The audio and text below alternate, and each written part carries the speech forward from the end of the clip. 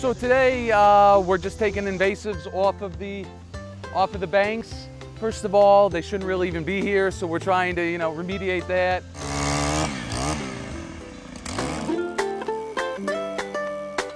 You know, start early when it when it's not so hot, and uh, and yeah, and just keep persevering. You know, we have other people coming from other parks coming to help us out.